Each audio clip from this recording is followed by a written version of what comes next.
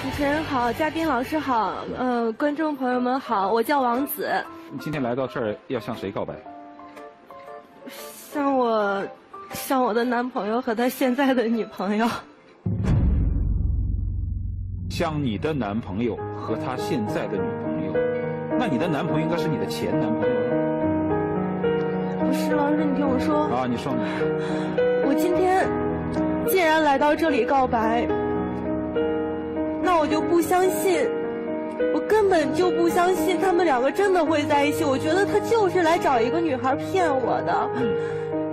这个女孩，她想要多少钱，我可以给她啊。而且，而且就算，就算他们真的在一起了，但是我还是，还是想要说出我自己心里的话。你男朋友叫什么名字？叫王贝德。你什么时候发现他有新的女朋友？我们分手之后，就是我每天都在跟踪他嘛。你不知道跟踪人是违法的吗？我没有办法了呀。你你你都看见了什么？我每天都会跟踪他，他不会去见别的人，也不会去相亲，没有去相亲，也不会出去玩。在我跟踪他的这段时间里面，我什么都没看见，我什么都没发现。后来他说。你不要再打扰我的生活，我已经有女朋友了。我说那好啊，我说那让我看你女朋友嘛，我要证据啊。好，那你过来嘛，我我在那个他们家附近的咖啡厅，我到那儿了，确实真的有一个女孩在那，他们还很亲密的样子，但是我觉得那就是假的，我根本就不相信他们两个真的会在一起，我觉得他就是来找一个女孩骗我的。嗯，很自我，跟踪是违法的啊。你除了跟踪之外，你平时跟他相处的这两年当中，你在家里干什么？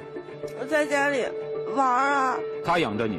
不是啊，爸妈离异了，但是他们每个月都会定时的打给我钱。这个钱足够于你不工作也可以在家里活得很好。足够了，而且王贝德说，他觉得我这样挺好的。挺好的，很好。他为什么要跟你分手？自从见了家长之后，我爸妈说门不当户不对的，干嘛要在一起？但是我从来，我真的真的从来都没有嫌弃过他什么。在这之前就没有任何征兆吗？我不知道为什么我对他那么好，我们在一起两年了，我觉得我们可以一直的走下去，只要他跟跟我在一起，无论怎么样都可以。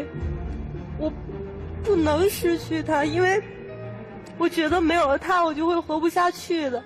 哪怕他的女朋友是假的，只能说他和你分手的决心是非常的铁定了。不，我完全反对。我觉得，我觉得，我觉得是这样的。越是他要用这样的方式跟你分手，就越说明他自己是下不了决心的，他放不下你，所以赶紧拿一摆事儿来假装他强大，要不然他根本没法。女人最不能拒绝，女人最不能接受什么呀？我觉得你们说的这个最大的问题，他有一个最致命的问题，他不知道他自己错在哪儿了。他可能恰恰以为自己做的没有过分的事，在这个男人的眼里，以为这是一个致命的问题，他没法容忍这个问题跟他在一块儿这个问题，他不知道自己错在哪儿。他不知道自己错在哪儿，是因为他根本就没犯什么错。